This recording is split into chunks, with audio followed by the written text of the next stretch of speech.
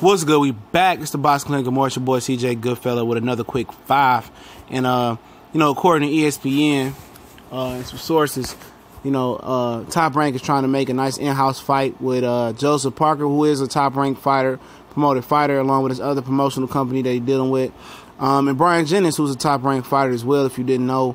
Uh, he got away from Roc Nation, went over to Top Rank. You know, he's uh, managed by Jay Prince as well out of Philadelphia. And I think this is a good fight.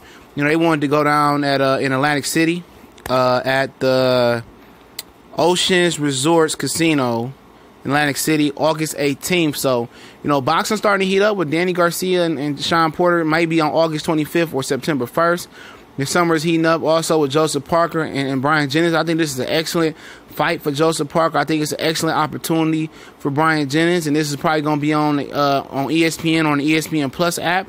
And uh, this is on the ESPN Plus app. I think they really, really banking out, you know, banking out the value for your five dollars, man. They really killing the game and getting a lot of praise.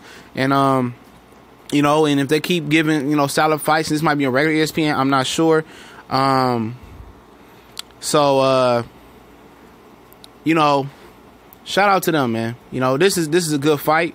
You know, for a while, you know, people wanted to see, you know, Deontay Wilder versus both of these guys, man. You know, people wanted to see Wilder versus uh you know Jennings, and they, and they was going back and forth and talk about their sparring battles and beefing over like several radio shows. Obviously, with Bryant Jennings coming up short, you know, versus Luis Ortiz and versus Vladimir Klitschko, that kind of changed the narrative. Even though he had a, a valiant effort versus Vladimir Klitschko, and then you know Joseph Parker, he been you know you know, he was supposed to, you know, want to fight uh, Deontay Wilder. They got an excellent relationship. He missed a WBC drug test. They got it together. They re-ranked him in the WBC as well since he, uh, you know, he lost his title. You know, they don't rank alphabet champions, but you know, call me crazy. This is a fight that I, I want to see. You know, and ESPN right behind Premier Boxing Champions is delivering some solid fight cards and some solid fights. And you know, Joseph Parker coming off a loss, he didn't take a lot of punishment versus Anthony Joshua. Uh, Bryant Jennings coming off a win, a few wins. His last win was on the Isaac Dogboe and Jessie Magdaleno card. And um, bro, th- this is this is a good card, man. This is even good in main event. And uh, if you didn't hear my other video, Isaac Dogboe wants to fight.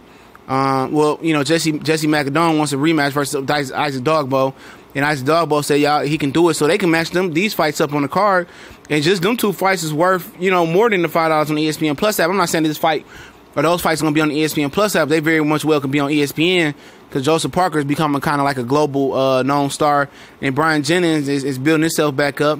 And um, he's a guy that I thought, you know, with Deontay Wilder talking about squeezing down the cruiserweight, um, you know, I thought it was a guy that he could have squeezed down the cruiserweight and made a career because he's always a little bit too small for heavyweight when he went in there with, versus some heavyweights. You know, he had a battle with Mike Perez and he was losing early. Then Mike Perez, his lazy ass, faded. I was Mike Perez and he, he out hustled him. He had a valiant effort versus Vladimir Klitschko. That's why you can tell Klitschko was on the decline. You know, and I think after that he got stopped by Luis Ortiz. So, and he was wondering about that about about Luis Ortiz juicing up after all that happens, and he found somebody to get popped for juice.